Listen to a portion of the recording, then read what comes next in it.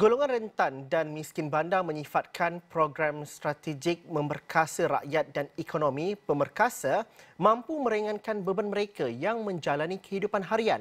Bagi mereka, keadaan ekonomi yang kurang memberangsangkan ketika ini menyebabkan ramai golongan rentan tertekan berikutan sumber pendapatan yang terjejas. Ahmad Tarmizi Jusoh, 39 dari Bukit Mertajam, Pulau Pinang yang mempunyai masalah penglihatan berkata pendapatan sebagai tukang urut terjejas teruk selepas penguatkuasaan PKP bermula Mac tahun lalu.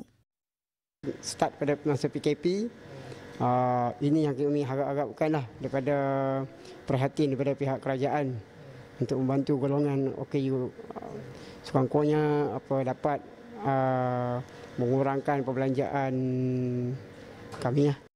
Jelasnya bantuan bakul makanan yang diterima daripada Jabatan Kebajikan Masyarakat JKM banyak meringankan bebannya membeli keperluan harian.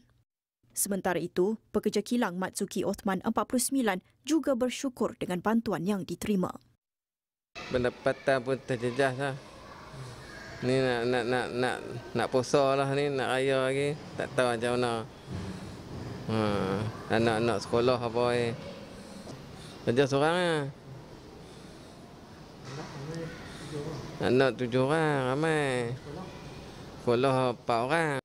Suri rumah Hapsah Cik Man 57 yang menjaga suaminya yang lumpuh akibat angin ahmar berharap pegawai JKM turun padang melihat sendiri keadaan golongan miskin bandar.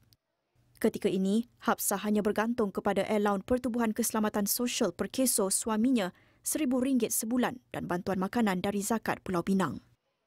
Suami saya OKU, dia suruh uh, apa sepenuh masa duduk rumah lah saya kena jaga suami saya lah. Keadaan dia tak sihat saya pun tak kerja apa. Jadi saya mohon saya nak minta bantuan daripada JKM untuk membantu suami saya. Sekat mana yang kalau boleh nak bagi beli pampers untuk suami saya semualah.